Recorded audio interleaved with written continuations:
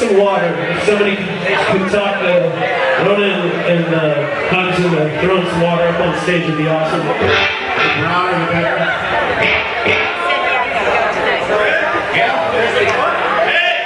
Where's it now?